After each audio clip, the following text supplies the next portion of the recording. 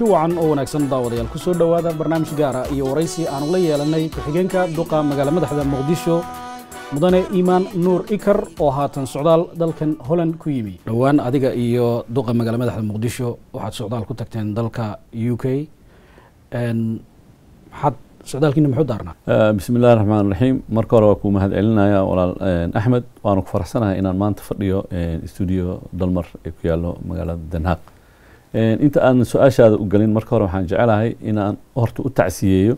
Inta aan joognay magaalada london ayaa shilkii ka dhacay xeebta liido waxaan rabaa in aan u tacsiyeeyo dhammaan ciddii ku dhimatay in ilaahay naxariistii jan uu siiyo. Dadkii asxaabtoodii iyo heladoodii iyo waalidkoodana samar iyo iimaan ilaahay uu ka siiyo. Annaga dad nala shaqaynaya dhibaatadaasi ku geeriyooday. Inta xanuunsanna waxaan leeyahay ilaahay caafimaad deg dega siiyo haddii aan u soo noqdo su'aashaada ahayd booqashadani london waxay ahayd laba qeybood qeyb official oo aan la kulmeynay wasaaradda arrimaha dibadda commonwealth foreign affairs iyo hay'adda difid ee horumarinta maalgelisa. Sidoo kale waxaan lala kulmay booliska london metropolitan iyo meeyarka london. Intaasina waxay ahayd un guul inta ugu muhiimsan ayaa waxay ahayd inay noo sheegeen in review ama dib u ay ku samayn doonaan lacagyoogii kaalmada ay bixinayeen. Laakiinse waxay noo ballan qaadeen in soomaaliya teedii aan la taaban doonino oon inay kor u kacda maahane inaan hoos loo dhigayn annagana waxaan u sheegnay uun maalihii ay gacanta ay ka geysteen intay joogeen. Qeybta kale oo ahayd magaalada london ninka madaxda ka ah in labada mata labada magaalo in xiriir wada shaqeyn inay sameeyaan ee gacanna laga siiyo muqdisho sida waxa uga faa'iideysan lahayd magaaladan london oo runtii intaasoo malaayiin dad ay ku nool yihiin oo muqdishona aysan yareyn. Intaasi ayuu ahaa qeybtiisa koowaad maxaa la yihahdaa waxaa kaloo noo dheeraa in oo sababta ujeeddada ugu weyn ay ka mid ahayd in bulshada soomaalida in la tusiyo waxa ay qabsan karaan. Magaalada birmingham ayaa nagula soo dhoweeyey. Magaalada londonna sidoo kale hadafkana wuxuu ahaa wadooyin bal at least maamulka cusub dabcan waa la socotaan in isbedelo ay jireen. Guddoomiyaha cusub oo hadafka ugu horreeya ka dhigta in bulshadii iyaga inay ismaalgeliyaan ee wadankooda ay dhistaan oo barnaamij ah dalkaaga ku dhiso dollar. In qof walba contribution uu geysto si uu magaaladii ay dib ugu soo noqoto. Magaaladu beryahan dambe muqdisho waxay caan ku ahayd in badan colaadda iyo dagaalada ma jiraan dhibaatooyin kale oo aan colaadda iyo dhibaatooyinka ahayn oo imika haystaa wallaahi runtii un waa magaalo soo soo kacaysa waaye magaalo xanuunsanayd dhibaatooyina ka jiro. Hadda dhibaatada maalan marka la yihahdo amni daradoo kale waxaan ognahay dalka faransiiska tii ugu dambeysay wixii ka dhacay. Magaalooyinka caasimada qaarkood waxa ka socdaan ognahay.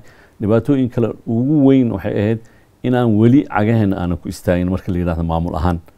Culayskaasaa ka jira magaalada. Dadkii rajadoodii way soo noolaatay ganacsiyaa socdo. Un dhankii dowladda adeegyadii laga sugayay ayaa xoogaa yar gaabis ka jiro. Waana dadaalaynaa un intaas inay helaan insha allahu magaalada dadka ku nool hadduu ilaah muqdisho waxaad moodaa shan iyo labaatan sano oo dagaallo inay daashadeen. Markaad eegto duruufahan ku xeeran iyo dhibaatooyinkan weli ka taagan ma is leedahay waktigan waxay u baahan tahay in magaalo madaxda laga nasiyo oo meel kale laga dhigo horta runtii aragtida dadka waa ku kala duwan yihiin dad badanaa la yiri in maxaa la yihahdaa haddii aad xasuusataan xilli waxaa jirtay maamulka siyaasadda loo wareejiyey jowhar xilli waxaa jirtay la geeyey baydhabo. Haddana still magaaladan waxay xambaarsan tahay xadaarad ka fog xornimadii ka fog soo dhoweynteedii martigelintii horumarka dhinaca ganacsigoo kale. Hadda nasiib magaalada waxay u yeelatay hadde airbortkii muqdisho oo runtii ugu yaraan maalintii intaas shan flight oo daily inay ka kacaan dekadii weyneedaa ku taalo marka caasimad ahaanna waa calaamadii midnimada. Manaa xornimadii markii la qaatay waa la socotaa inay midnimadii qaranka iyo ummaddii oo dhan haddee. Ummaddii oo dhan inay ay sheeganayeen maanta qof aan ama aabihiisii ama awoogiis shan iyo labaatan sano iyadoo dhibaata ay ka jirto soomaaliya haddana still dadku waxay aaminsan yihiin inay caasimadoodii ay tahay. Marka caasimadaasi waxaa u malaynayaa in ummadda quluubtooda inay weli ku jirto oo isbeddel aysan ka dhici doonin hadduu ilaa yiraahdo. Dhowaan madaxda dalku waxay soo saartay doorashada sanadka labada kun iyo lix iyo tobanka. Aqalka sare waxaad moodaa in muqdisho laga qadiyey say kula muuqata adiga? Runtii waa su'aal aada muhiim u ah laakiin aniga mar walba waxaan ihahdaa muqdisho waa hooyadii wadanka oo kale. Dulqaadkeedii iyo sabarkeedii ayay leedahay. Dhibaatada jirto in soomaaliya o dhan inay issoo qanciso laysqanciyo barnaamij waxaa socday ilaa iyo degmo walba la gaarsiiyey wadatashi ah. Runtiina haddee dastuurka qeexayo caasimadda iyo waxa ay ku yeelan doonto. Marka intan un xallin dhibaatooyin taagan laakiinse caasimadda sadkeedii waa yeelanaysaa un wax shaki ku jiro ma aha waxaa laga yaabaa un farsamo in ama isqancis iyo isdaaweyna lagu jiraa. Waxaan la soconaa soomaaliya inaysan weli si dhab ah aysan u heshiinin. Waxaana ka dareemeysaa madaxda hadda meesha ay maraysa iyo gorgortanka socda iyo maxaa la yihahdaa waxaan rajeynaynaa marka in wadaniyaddii inay soo noqoto oo dadkiina ay fahmaan caasimadiina maqaamkeeda inay yeelato dadkii mathali lahaana runtii qeybtooda inay ay helaan. Sidaad sheegtay magaalo madaxda muqdisho waa magaalo ka dhaxaysa ummadda soomaaliyeed dad baa ka cabanaya in ay dad si gaara u sheeganayaan oo dadka reer muqdisho aanay u dhaqmin si magaalo ka dhaxaysa dadka oo dhan. Sead u aragta adigu marka. Wallaahi horta sidaan kuu sheegay aragtida waa lagu kala duwan yahay. Magaaladani waxaa la yidhi soomaaliya oo dhan ayaa iska leh. Mararka qaarkiis waxaan idhahdaa haddii soomaaliya ay wada leedahay waa in loo hiiliyaa magaalada. Si ay u qaabisho magaaladii waa laga maqan yahay runtii dagaalaa ka dhacay colaadaa ka dhacday. Soomaaliya oo kalena maahan ajaanibaa ka maqan taasi marka waa sax. Magaaladii dhibaato badan ayaa ka dhacday iyadoo in lays cafinin oon maxaa la yihahdaa dadkii at least aniga mararka qaarkiis waxaan idhahdaa bal mar symbolically walaalaheena waqooyi oo kale calankii ay keeneen in mar la geeyo calanka in la qaado oo hargeysa la geeyo si kumeel gaara marka iyadoo lees wato in magaaladii loo soo noqdo. Caasimadda diyaar ma ahan waa la dhihi karaa sababtoo ah muddo dheer ayay waxay ku jirtay dagaal haddana bini aadankaa laga sugaya annagaa nagala sugaya adigaa laga sugaya ummadda o dhanna laga sugaya inay gaarsiiyaan ay keenaan heerkii magaaladaasi ay ku noqon lahay caasimad loo siman yahay oo dadka oo dhan ay xuquuq iyo waxa ay ku leeyihiin lahaanshaha kuu haray lahaanshaha aragtida waa lagu kala duwanaan karaa oo waqooyi waxaa la leeyahay dad noocaasi iska leh. Caasimaddan laakiin waxay nasiib u yeelatay in la yidhaahdo soomaaliya wada leh. Aniga shaksi ahaan marka personally markii ani aan aan waxaan aaminsanahay horta dhulka sidiisaba ilaaha iska leh haddana dad ayaa loogu yimaadaa. Dadkaasi tixgelin ay leeyihiin maamulkoodii inay iyaga ay hormuud ay ka noqdaan. Dadka kalena haddii magaalada waa u furan tahay ha soo dhowaadaan waxaa dhowaanta soo badanaya dhul hantida qaranka ah in dowladda hoose ay ku wareejinayso dad ganacsataa ama shaksiyaad hantidaa dadka ka wada dhexaysa seed u aragtaa ee lagu wareejinayo shaksiyaadka waa mahadsan tahay. Arrinta dhulka runtii waa arrin xasaasi ah. Dhibaato weyn ayaa ka jirto dad badanaa leh dhulkiyaa nagala haystaa hantidii dowladda jardiinooyinkiyaa la bixiyey magaalada waa dhaawacan tahay waa burbursan tahay. Maskaxda uma jeedno bini aadankii burburiyeen maskaxdiina waa burbursan tahay.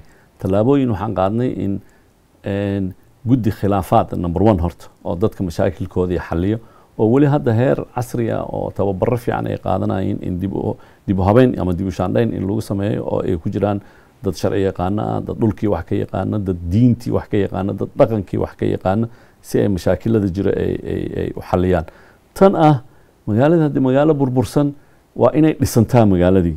Waa in dib loo dhisaa. Marka ganacsatada iyo inay qeyb ka noqdaan ma aha boob la boobayo cid walbana mar walbaana laga digaa maamuladii soo mara oo dhan qof alla qofkii geliya xoolihiisa dhul dowladeed ay leedahay dhul dowladeed waa dhul dowladeed marka taasi waxay noqonaysaa un cilad qofkii iska maalgeliya in sharci oo rasmi ah oo mataqaanaa ummadda ay ku wada qancda markuu yimaado. Haddee hantidii dowladda hanti dowladdii ahaanaysaa iskuulaadkii aa ka mid a isbitaaladii aa ka mid a guryo badan oo dhul badan oo dowladda ay leedahay. Taasi marka ku talagal waxaa jiri doono marka isla xisaabtan u yimaado in dib loogu soo celin doono gacanta ummadda ummaddaana wada leh. Su'aashan haddaan si kale u dhigo. Maamulkiinu dhulkaas ma bixiyey mise ma bixin arrintaasi runtii kama jawaabi karo sababtoo ah shaksiyan arrimaha dhulka aniga ima hoos imaaneynin runtiina laakiin xasaasiyaadka ayaan la socdaa. Su'aashaasi marka kama jawaabi karo. Dhulkaas kasokow waxaad moodaa in musuq maasuq ba'an lagu eedeynayo gobolka. Arrintaas idinkoo iska fogeynayana maan maqal. Seed kula muuqataa waxay marba ku xiran tahay horta waxaa jira hanti dhowraa jiro. Xisaabiyo guudaa jiro dabcan ma haddii adduunka dhan uu isku raaco uu yidhaahdo musuq maasuqa ka jira haddana cabirka maxaa lagu cabiraya adeegyadii waxaan ku dadaalaynaa un annaga waxaan sameynay aniga maamuladan kuwii ugu horreeyay aan ku jiray si shafaafiya loo helo in institutionkeena markii baaritaano badan la sameeyey runtiina waana gobolkan waa ku ammaanan yahay sababtoo ah waxaan ka horeynaa maamulada kale oo jiro oo dhan aan ka horeynaa maamulkan xisaabaadka asagoo manual oo gacan lagu qoraayo ayaa mataqaanaa gacan aan ka helnay in inuu noqdo digital oo maanta markii loo baahdo in baaritaan la sameeyo ay u fududaato. Dadaalkii waa haynaa ma dhahayna boqolkiiba boqol waa perfect laakiin waxa ciladaha jiro tallaabooyinkii oo waxaan ku soconnaa in dad aqoontii leh la helo. Shalay maanta meeshaan mar walbana waxaa fiican qofka gadaal inuu wax u fiiriyo. Xilliga aan ku soo biiraynay wax computer typewriter la isticmaali jiray wax yaqaana xataa ma aysan jirin. Maantana dhalinyaro waxaa joogta oo runtii aqoontooda iyo waxbarashadooda iyo hawsha inay fulin karaan. Waxna waa dhiman yihiin ma dhahayno waa dhammaystiran tahay. Dadaalkii aan ku jirnaa in arrintaasi musuq maasuqa inaan dib annaga aan u dhigno nidhaahno. Waatan warka waa cad yahay xoolihiina waa kuwan xisaabtiina waatan. Maxaa ka jira lacago gobolka ka soo baxa oo cashuurtii bulshada ahaa oo toos madaxtooyada u taga halkii looga adeegi lahaa bulshada. Eedeymahaasi waa jiri karaan. Waxaan leenahay ciddii caddayn haysa caddayntii hasoo hasoo hordhigto ha keenaan caddeymihii. Sababtoo ah mar walbo waxaa la sheegaa ribooryaa la qoraa waxaa la yidhahdaa laakiin ilaa ay hadda caddayn oo qof uu miiska soo saari karo uu dhihi karo ma jirto. Arrintaas ma ma jirtaad leeda adigu ani waxaan leeyahay ma jirto.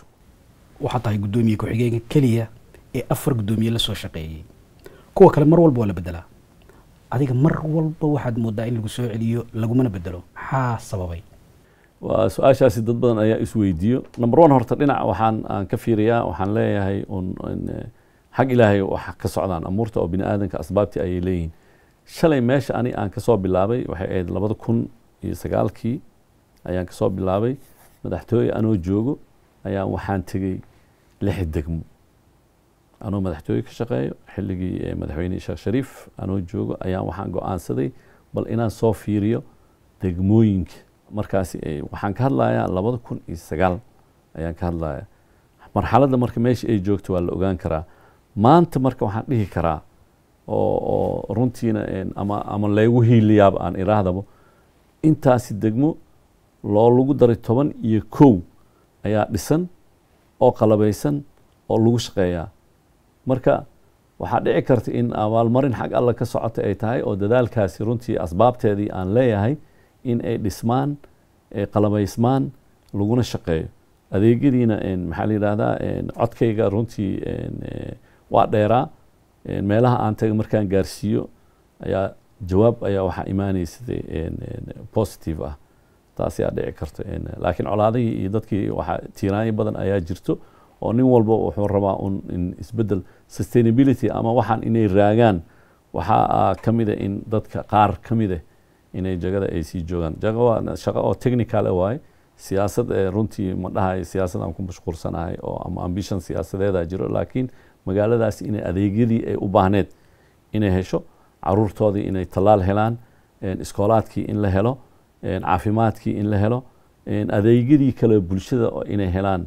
Wadooyinkii inay dhismaan biyo in la helo koronto rakiisa in la helo magaaladii inay dib u soo noolaato safaaradihii jiri jira inay dib u soo noqdaan aragtidaasi fog ayaan leenahay marka sababtaas yaa dhici karta inaan weli meesha u sii joogo. Hadday taasi dhab tahay toddoba sano oo ay aragnimaad leeday. Muqdishona waxaan filayaa de in aad maayar ka noqon karto. Maxaa lagu dalaacsin waaya mar walba qof lagaaga dulkeena adiga. Runtii horta waa waa mahadsan tahay. Taasi go'aankeeda madaxda sare ayaa iska leh xilli oo hadda oo maanta la soo dooranayana runtii weli lama gaarin. Inta aan rajeynayna sanadkan inay dhacdo. Laakiin su'aashaasi waxaa iska leh dadka mataqaanaa soo xulanayo laakiin waxaan aan ku faraxsanahay inaan qof walbo oo imaada aan la shaqayn karo. Dadka banaadirigeed ka soo jeedo adigu ee magaalada degan waxay inta badan ku cawdaan in aanad danahooga u hadlin ama aanad iyaga waxba u qaban warkaa haysa adigu wallaahi su'aal fiican waaye. Maalinta xilka lay magacaabay ayaa waxaa layiri anoo magaalada ku cusub la yirahday waxaa yiri waa inaa aragtaa dadkaaga kursigooda ku fariisanaysaa. Madaxtooyada markaasi joogay. Madaxtooyan ugu yeeray markhaatiyaashoodana waa nool yihiin waana leeyihiin. Waxaan ka codsaday marka dadkaasi oo qowmiyadda banaadiriga oo dhammaystiran runtii soo gelintooda madaxtooyaan ugu qabanay. Weli ma dhicin qof xil loo dhiibay oo markaasi madaxtooye villa soomaaliya dhexdeeda waxay ahayd sharaf aniga leysiiyey markaasi laga ogolaaday inay dadkaasi ay guryahooda ka soo baxaan ay imaadaan. Markii aan ballan la galay dadkaasi waxaan idhi waxaan idinka codsanayaa inaan laygu koobin. Moorada oo banaadiriga inaan laygu koobin ee lay fasaxo in magaaladan dadka degan oo dhan inaan u shaqeeyo. Waana la baari karaa dibaana loo heli karaa dhibaatooyinaa jiro. Dad ambition ama rabitaan siyaasadeed uu ku jiro. Qabiil walbana markii hoos laysugu soo dhigo dadka iyaga iscunaya barnaamijkan tiiraan bixinta markaan keennay sababaha aan u keennay ka mid a laakiin qolooyinka walaalaheena banaadiriga waxaan leenahay magaalada wixii ku soo kordho idinka ayaa wax ku leh. Caasimadiinni waaye idinka iskale markaa aragtaan iftiin idinkaa wax ku leh. Markaa aragtaan magaaladii oo nadiif noqonaysa idinka magaaladii ammaan markay idin noqoto. Marka waxaan leeyahay hadalka sida loo dhigayo ma ahane walaalahayga reer banaadiriga wax weyn ah ayaa u qabtay sababtoo caasimadoodii meesha aan shaqada ka bilaabayna runtii waxay ahayd ugu muhiimsaneyd xamarweyne kawaanka malayga hortiisa oo wasaqdii taalay walaalaheena turkida markay imaadeen meesha ugu horreysay oo shaqada aan ka bilownay ahayd. Marka waxaan leenahay cid alle ciddii wax qabanayso waa soo dhaweyneynaa walaalaheena madaxay naga saaran yihiin. Muddo badan ayaad gobolka ka shaqaynaysay intii aad gobolka joogtay waxaa kuu qabsoomay kasakow maxaan kuu hergelin oo aad ka gaabisaad isleedahay runtii markii aad sida aad wax u rabtay aysan dhicin oo aad isweydiiso ood qiimeyn mar walba ku samayso malaayiin waxaa soo baxayo cilada markaa arko cunug yaro oo biyo nadiif xamaalayo ama gabar yaroo shan sano ku jirto markii shan litro oo biyo ah xanuunkaas yaan dareemaya meelahaas yaan is leeyahay sidee ku dhici lahdaa ilaa ay hadda biyo nadiif inay tubada ay ka furtaan? Markaan arko cunug yaroo iskuul gaaray oo xilligii iskuulka dibadaha wareegayo xanuunkaasi ayaa mar walba igu soo noqonaa iraadaa way uu tegi layahay iskuul markaan arko carruur aad u fara badan garoomo oo aan aan sax ahayn ama meelo ku ciyaarayo ayaan aan isweydiiya waxaan leeyahay way ay u heli la'yihiin meel ay ku ciyaaraan? Sida asaagood oo kale ee waddamada aan ku noolnahay ay u heli la'yihiin marka waa farabadiyiin ma tirin karo. Waxaasoo dhanaa xanuun igaa waxaan rajaynayaa marka in ummadoo dhan inay wada arkaan ay gacan ka geystaan. Xilli waxaa jirta aan aad ugu mashquulay ciyaalkii darbijiifka ahaa oo khamiis walbo oo aan la kulmi jirnay oo magac xataa aan dhehayna ha laga bedelo waxaa kaloo ka sii daran qolooyinka i d bska la yidhaahdo oo marka aad fiiriso nolosha ay ku nool yihiin nolol rafaad oo aan bini aadan uusan ku noolaan karin. Aadan isugu mashquuliyaa in ay helaan maalin maalmaha ka mid a guri meeshan hadda aan fadhinoo kale biyo nadiif leh qofka uu ka qubaysan karo biyo nadiif ah uuna cabi karo iftiin oo aan ka kala go'aynin ciyaalkiina inay kombyuutarra ay guryaha ku haystaan waxbarashadooda. Marka inta aad su'aasha marka ay weydiiso intaasoo dhan ayaa waxaa arkaa inay gaabis noqonayso sababtoo ilaa ay ka helaan runtii waxay noqonaysaa in uun meesha laga sii wado oo la gaarsiiyo heer ah cunug walbo in uu helo asaagiisa waxa ay haystaan. Magaalada inay noqoto magaalo lagu faani karo oo markii aad soconayso oo jidadka lagaa xiro dituur calaamad ay ku tusinayso waddadan waa xiran tahay waddadaas kale ka bax.